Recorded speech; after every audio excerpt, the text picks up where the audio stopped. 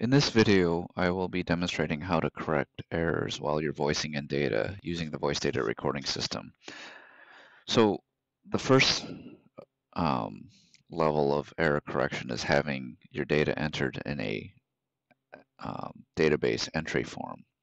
If you have your database normalized, then the simple validation rules and referential integrity rules in um, a database will trap errors.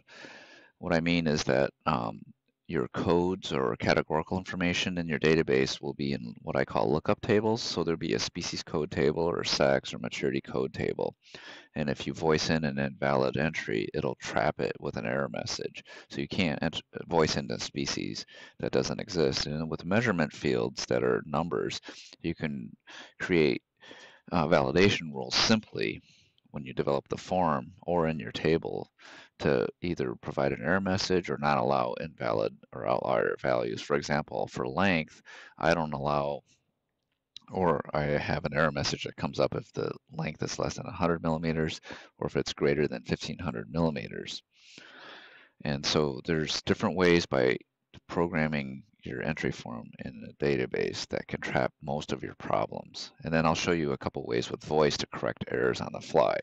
Um, demonstrate what I mean between a database and using Excel to enter data, which you could do with Dragon. Again, remember, Dragon is just a speech to text or speech to command program that basically whatever you does basically whatever you say it translated into key functions or executes a command. So I'll demonstrate how we can enter things in Excel, but it will not trap errors. Wake up. Redfin. 7122. Enter. 1506. Boy. Next. Scooby-Doo. Enter. 10,000. Enter. 2. Enter. Stop. So you can see Excel doesn't have the referential integrity and validation rules established, so I can voice in data that are invalid. So that's just a quick demonstration why you try to do stuff in Access. So next I'll show you how to correct errors. So you see in this fish record, there's the word junk in the notes field. And obviously that's something I don't want there. So I'm going to show you a couple approaches to get rid of that. In Dragon, if you say the word press, it's a default command indicating that you're going to press a key. Then after you say the word press, you can name any key on your keyboard and it'll execute that function. So what we're going to do is get rid of the word junk by using the delete key. Um, so I'm going to show you how that's done. Now, you see the cursors right after the K. So in order to delete the word junk, that word has to be selected. So you can use the command select all. So Dragon does recognize Windows level menu commands such as undo. Undo is probably going to be the command you'll use the most to do a quick correction. And I'll demonstrate that.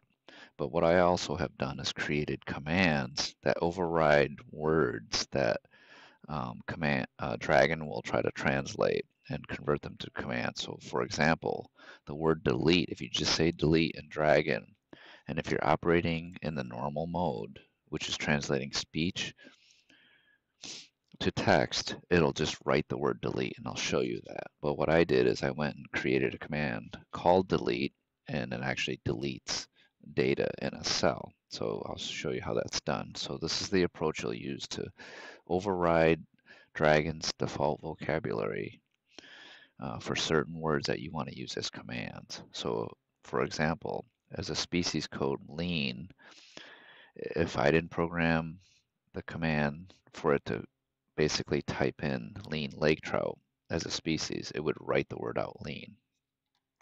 So all right, let's show you how to get rid of the word junk. Wake up. Select all. Press delete. delete, stop. So you see, I had to select all and I used the command press and then it ex and then specified which key so it deleted that. But when I said the word delete it didn't recognize that as a command. It recognized it as the word delete. So what we're going to do is go in I'm going to show you how to create the command delete. So you you just we're going to create a new command we're going to name it delete. So at this point once I train this and save this command, it's going to override the vocabulary word delete with a command. Delete.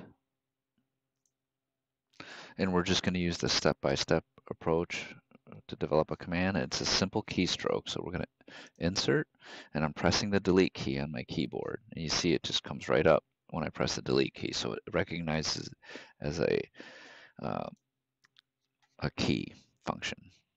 And we're going to hit save. So we're going to do this again. Wake up, select all, delete, stop. So this time, when I said the word delete, it recognized it as a command. So undo is going to be the most common command you'll use, but I also created a command called correction, which actually does multiple steps. It selects everything in the field and deletes it, and that's it. And then you can voice in your correction. So I'll show you how I did that just quickly. So again, as I mentioned, Dragon does recognize um, all of the menu functions. So a lot of them have uh, Control Z or Control C, things like that, and you can program this in. So um, what was it that I just said? So delete we just programmed. So I created correction. So again, this is a step-by-step -step function. So in the first step, if I say the word correction, so you're in a, in a cell on your data entry form, it's going to press Control Z, which is the keystrokes to select all, then it pr presses the delete key. So I'm going to cancel and I'll demonstrate a few uh, error correction steps you can take while voicing in data. And at worst, you can stop the microphone and have the data monitor or yourself go and uh, do the correction with a mouse or a keyboard, but almost all the time you can just correct these rapidly using your voice. Wake up. Next. Lean. 6199. Backspace. 5. Enter. 812. Correction. 612. Boy. No. 2. Back. Delete. Enter. Advanced gonad. Undo hook scar, undo, stop. So you see I demonstrated a few approaches to do some corrections.